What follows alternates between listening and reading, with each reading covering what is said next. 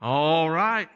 I have that time, and what I want you to do as we begin tonight's lesson, I want you to take your Bible in hand. Take your Bible in hand and just kind of hold it up like this a little bit. And I want you to repeat after me This is the heart of God. This is a love letter from God to me. Everybody agree with that? All right, this is God's holy word. And the last one is this this is the truth.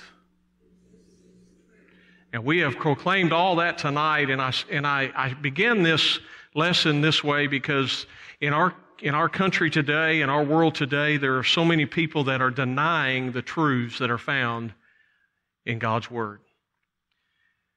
I recall just a couple of weeks ago, as I was, as Brother Mike had asked me to speak tonight, I was thinking about what to speak on, and I was listening. Actually, I was on uh, social media, and I was looking at some of the pictures of my new grandbabies, uh, the twins, and just below there was a video that popped up, and it was uh, the headline said, "Don't push the Bible on me." And uh, this lady began, and I, I clicked on it, and this lady was just really violent and very irate toward Christians and toward uh, the Word of God. And one of the statements that was made was, Don't push this on me. Don't give me your scriptures because I don't believe in it. Those scriptures are false. But I want to tell you tonight, as I speak on why I believe the Bible is true, I believe we need to, as, as Christians in this day, and I believe we're in the last days uh, as we are journeying through our life, I believe that we need to stand upon the truths of God's Word more today than we ever have before. And I think tomorrow we're going to need to stand on it even more than we have today. The next day and on and on and on. We need to stand firm and we need to proclaim the truths of God's Word. Now I want you to, to remember this verse. It says, In the beginning was the Word, and the Word was with God, and the Word was God. Now, when we look at that particular verse, we understand that that is talking about Jesus Christ. Jesus Christ is the Word. And then verse 14 says, And the Word, Jesus Christ, became flesh, and He dwelt among us. And we beheld His glory, the glory as of the only begotten Son of the Father. So when we think about the truth of God's Word, we're also thinking about who Jesus is and the fact that He is truth. And the Bible says in John 8 that the truth will set you free.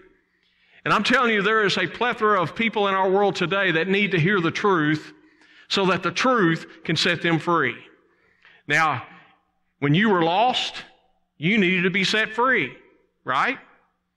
How were you set free? You were set free from the, the knowledge that you heard of the Word of God and from the Spirit of God as He convicted you, and He set you free.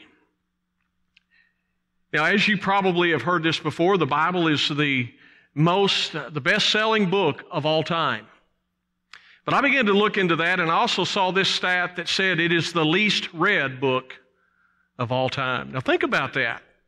More Bibles are probably laying around in the house than any other book, and they're never picked up. The dust is on them, and people are just not reading it. Well, I believe we need to read the Word of God for its truth that it contains.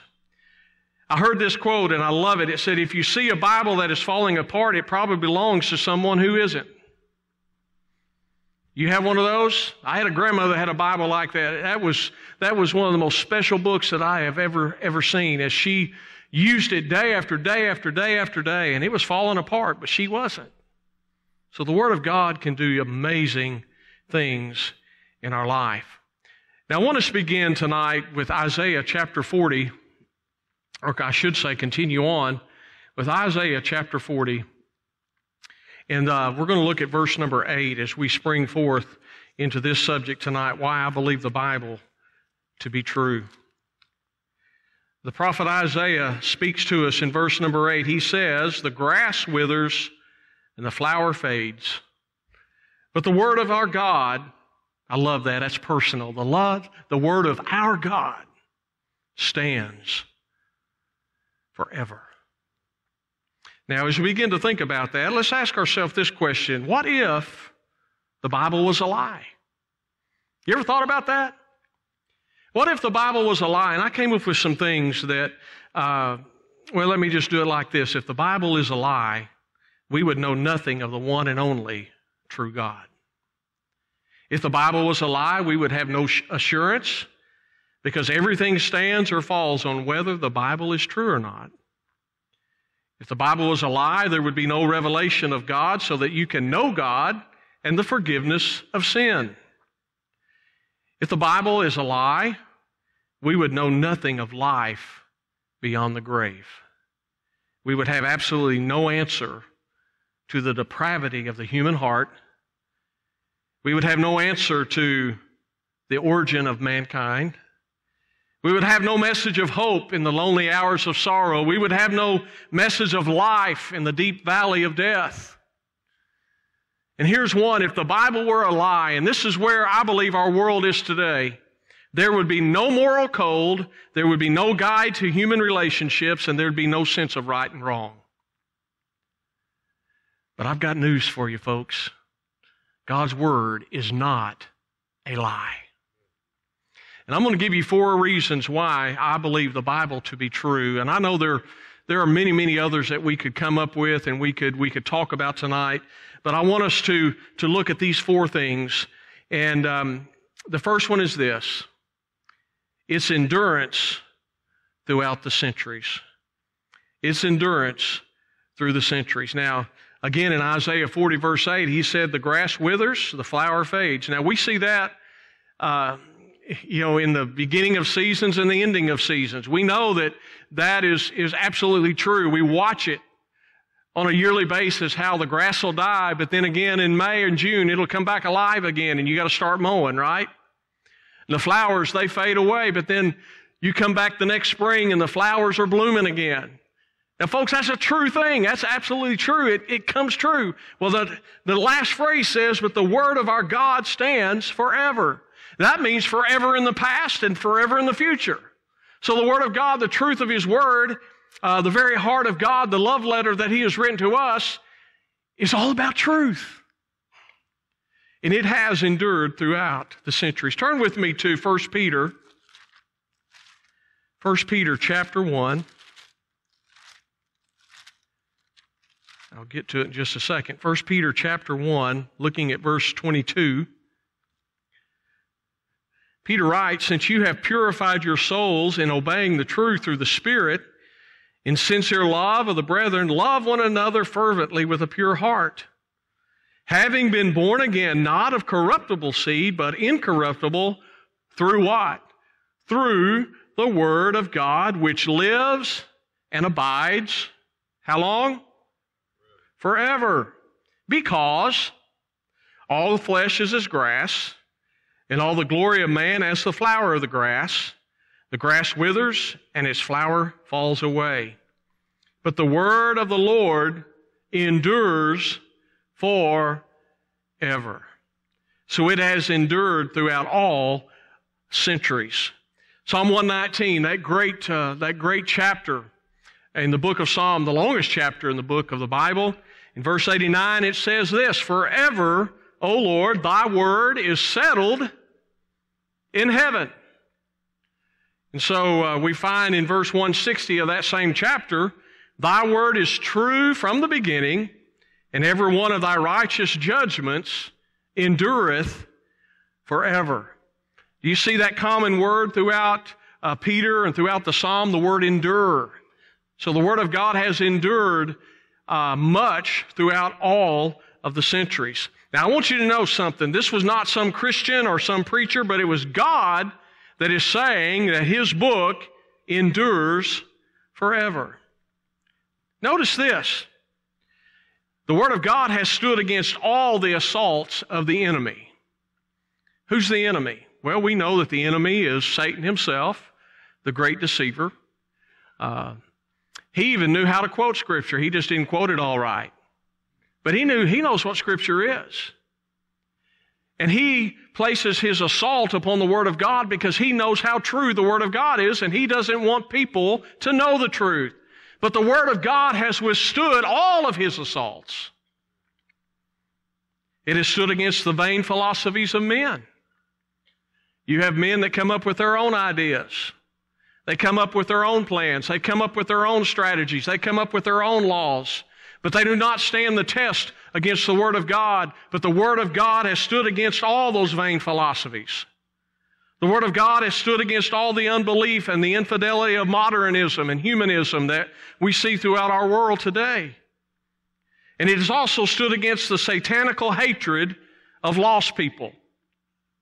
The lady that I mentioned to you on the, about the, uh, speaking on that video, she's lost. She needs Christ. That broke my heart. And the very thing that she needs the most is the thing that she was rejecting the most. And that is the truth of God's Word. Folks, I pray that somebody can get through to her. And there are scores of people just like her that, are, that hate the Word of God. So the Word of God has stood like the mighty rock it is. Didn't, didn't Jesus say, Upon this rock I'll build my church? That's a true statement, folks. He built the church. And the gates of hell shall not prevail against His church. It's mighty, it, it is the mighty foundation of our faith. You read throughout the book of Hebrews, and especially Hebrews chapter 11, and those folks who, who are in the hall of faith that I call it, they stand upon the Word of God and they stood upon the Word of God throughout their life. This Bible, the Word of God has been burned in huge bonfires. Even in uh, uh, third world countries today and some of the communistic countries today, they still are burning Bibles. They don't want people to read the Word of God.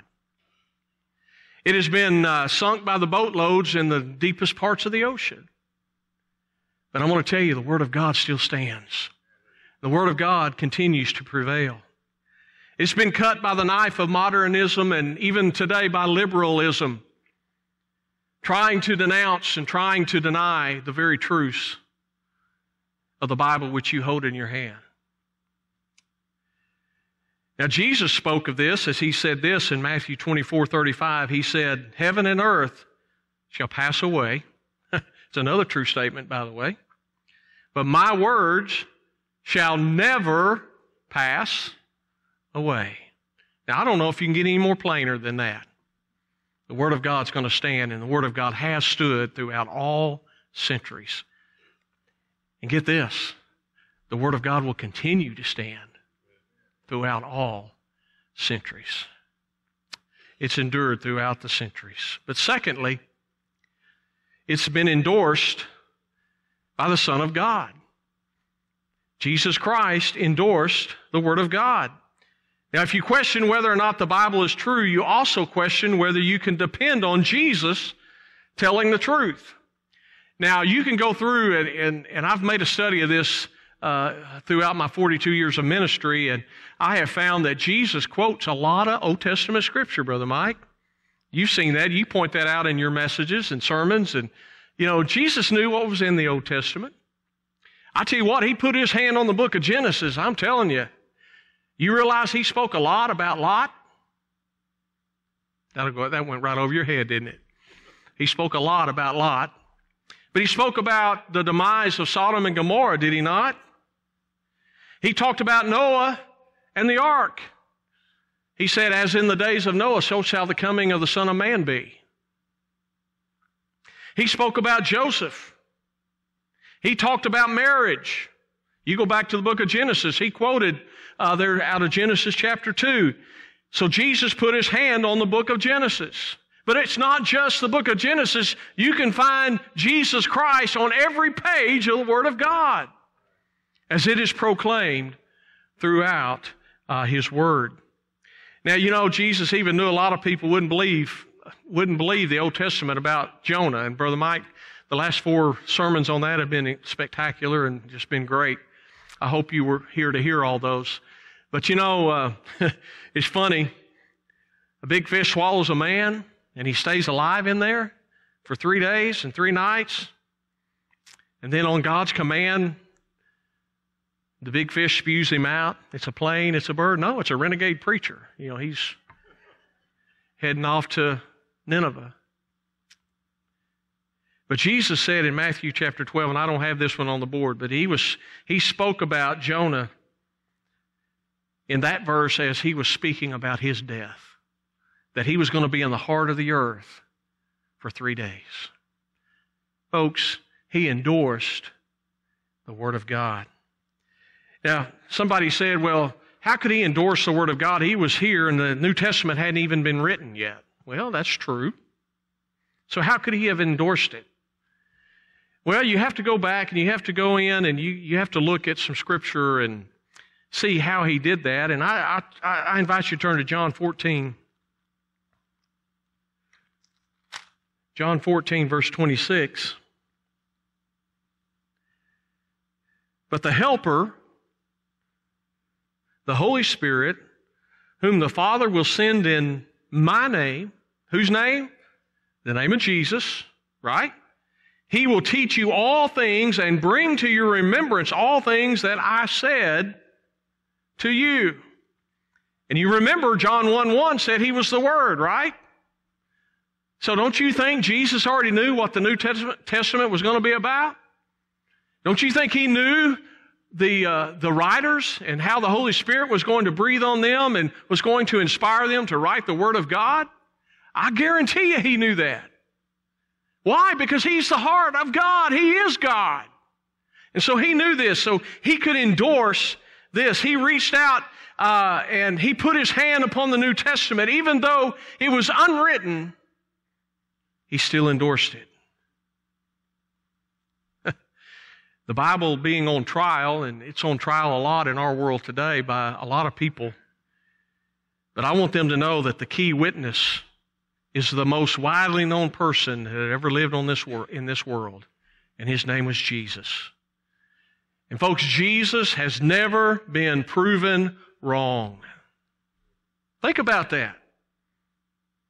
If people would, would read the scripture, they could tell right now what's going on. That we're living in the last days and that Jesus is going to be proven right. So we bring Jesus to the court, the very Son of God, and we ask him this question Jesus, is this Bible true? Is it the Word of God? And I tell you what he would do. He would take this and he would, by his nail scarred hands, he would hold it and he will show you how the Old Testament relates to the New Testament and how the New Testament relates to the Old Testament. Because, folks, it's all about him. It's all about Jesus. And so, if we're going to say the Word of God is true, we need to be saying Jesus is true. Look with me in uh, Luke chapter uh, 24. Luke chapter 24 verses 44 and 45. Then he said to them, These are the words which I spoke to you while I was still with you, that all things must be fulfilled which were written in the law of Moses and the prophets and the Psalms concerning me. So he's going back and he's making an overlook and an overview of the entire Old Testament. The prophets, uh, the poetry, the Psalms, uh, the law of Moses, all of these things he has in his mind. And here's what he says And he opened their understanding that they might comprehend the scripture. Now that sounds to me like he's endorsing the Word of God. John 16 again, back in John chapter 16, I want to look at verse 13 and 14. It says this However, when he, the Spirit of truth, has come, he will guide you into all truth, for he will not speak on his own authority but whatever he hears, he will speak and he will tell you things to come. He's talking about the Holy Spirit. He will glorify me, for he will take of what is mine and declare it unto you. So Jesus Christ endorsed the Word of God. Number three, it's enabling in the lives of men. Let me give you something I hope will stay with you uh, at least for the next 10 minutes, okay?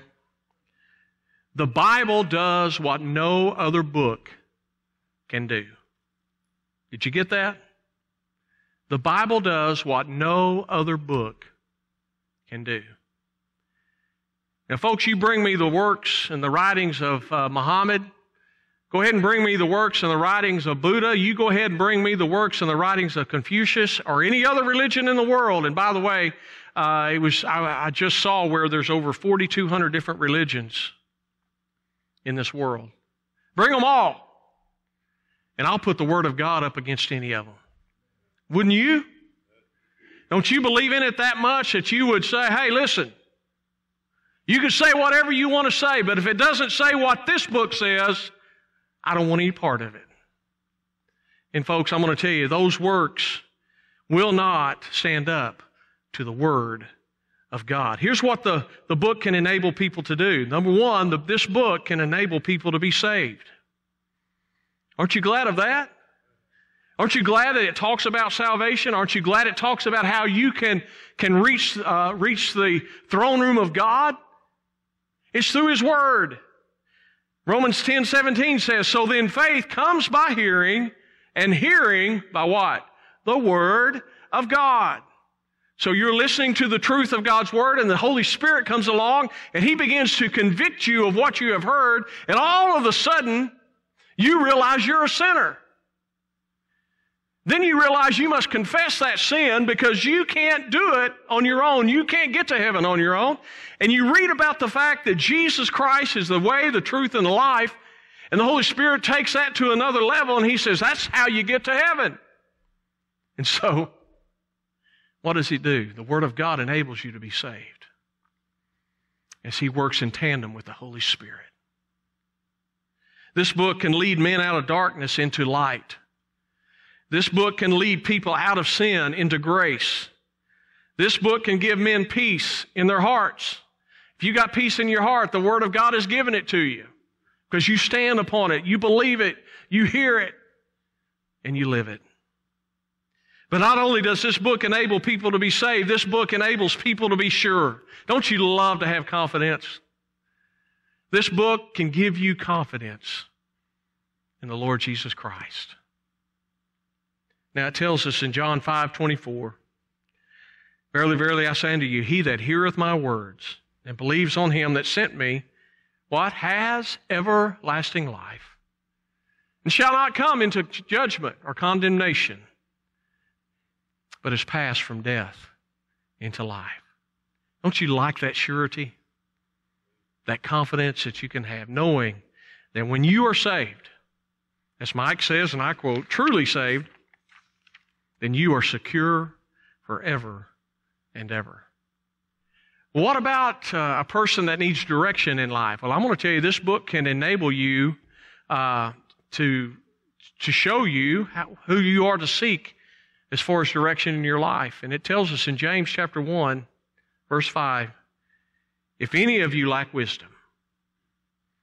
Now, folks, we all we're all going in on our on our life journey and we're going this direction, that direction. I'm going to tell you, we need wisdom. Do we not? In every decision we make in life, we need the wisdom of God. But I want to tell you, this Bible also does something else that's powerful. It enables people to trust in God. It enables you to trust God. And in John chapter 6, and I don't know if we'll read, read all of this, or excuse me, Mark chapter 5. I'm getting ahead of myself. Mark chapter 5, verse 30. We find that there is a, a lady that has an issue of blood. She's had this for some 12 years, and she has spent all of her money on doctors, and she has just come to her wits' end, and she just doesn't know what to do. But she reaches out, and what does she do? She touches the hem of his garment. And it says this, and Jesus, immediately knowing in himself that that power had gone out of him, turned around in the crowd and said, Who touched my clothes? but his disciples said to him, You see the multitude thronging you, and you say, Who touched me? And he looked around to see her who had done this thing. But the woman, fearing and trembling, knowing what had happened to her, came and fell down before him and told him the whole truth. I love that about that lady. She comes to worship him and just she spills her heart out to him. And he said to her, Daughter, your faith has made you well. Go in peace and be healed of your affliction. But 35 and 36 are interesting. While he was still speaking, some came from the ruler of the synagogue's house. By the way, that was Jairus, who said, Your daughter is dead. Why trouble the teacher any further? Remember, he had come to Jesus, said, You know, my daughter's dying. Can you come? And verse 36 says, As soon as Jesus heard the word that was spoken, he said to the ruler of the synagogue, Jairus, do not be afraid. Just trust in me only believe. Aren't you glad that we have a God that we can trust? So the Word of God has endured through the centuries. The Word of God has been endorsed by Jesus Christ Himself. And the Word of God enables you to uh, be saved and to be sure. It enables you to seek direction in life. It enables you to trust in God. But I want to finish with one thing, and that is this number four. The Word of God, I believe, is true because it has enormous wealth of truth. Look at John 17.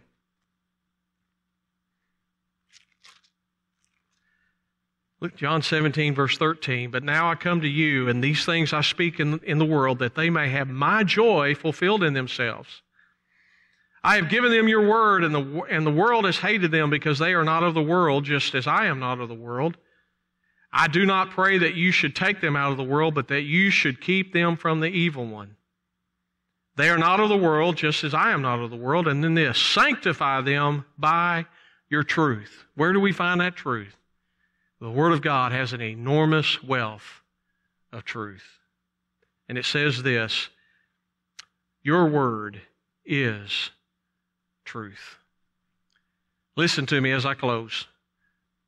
Those who love it the Word of God, never get tired of it.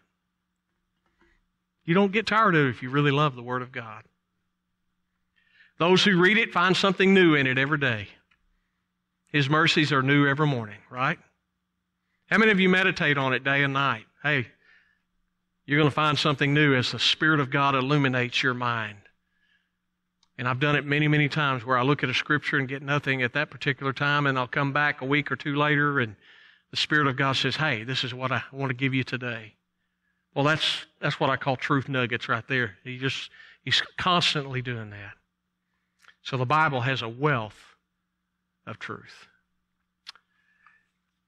I love the song, and I sang it not too long ago, and it says, Word of God, speak. Would you pour down like rain, washing my eyes to see your majesty?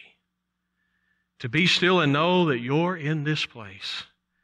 Please let me stay and rest in your holiness.